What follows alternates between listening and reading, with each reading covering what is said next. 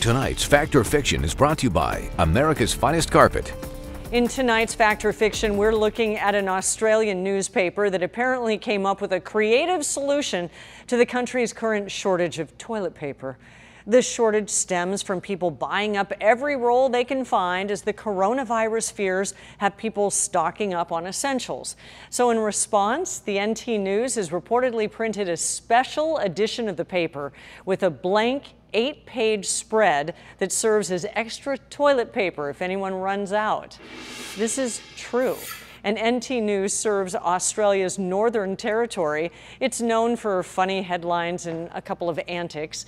The paper's editor says it is selling well. Australia's largest supermarket chain is also limiting customers to just four packs of toilet paper as the shortage continues.